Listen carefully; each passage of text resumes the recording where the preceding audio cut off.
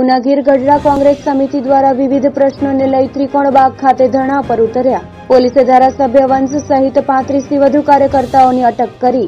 ઉનાગીર ગઢડા કોંગ્રેસ સમિતિ દ્વારા ખેડૂત સહિતના લોકોના વિવિધ પ્રશ્નોને લઈને ઉના ત્રિકોણબાગ ખાતે ધારાસભ્ય સહિત ત્રીસથી વધુ કાર્યકર્તાઓએ સરકાર વિરુદ્ધ બેનરો સાથે સૂત્રોચ્ચાર કરી ધરણા કરેલ હતા.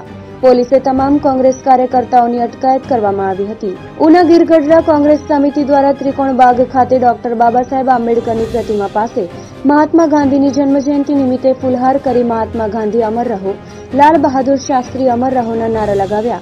ત્યારબાદ લોકોના વિવિધ પ્રશ્નોને લઈને વિરોધ વ્યક્ત કર્યો હતો, જેમાં શિક્ષણના પ્રથમ સત્રની સો ટકા ફી માફ કરવા, ખેડૂત વિરોધી કાળા કાયદાના વિરોધ, યુપીમાં બનેલી ઘટના સહિત લોકોના વિવિધ પ્રશ્નોને લઈ ભાજપ સરકાર વિરોધ સૂત્રોચ્ચાર કરી બેનરો સાથે રોષ વ્યક્ત કરવામાં આવ્યો હતો, જેમાં ઉના ગીર ગઢડા તાલુકાના મત વિસ્તારના ધારાસભ્ય પુંજાભાઈ વંશ, બાલુભાઈ હિરપરા, ગુણવંતભાઈ તળાવિયા, રામભાઈ ડાભી, કમલેશભાઈ બાંભણિયા સહિત પાંત્રીસથી વધુ કોંગ્રેસના કાર્યકર્તાઓ, હોદ્દેદારો, સરપંચો, મહિલા આગેવાનો યુથ કોંગ્રેસ દ્વારા ધરણા પર ઉતર્યા હતા.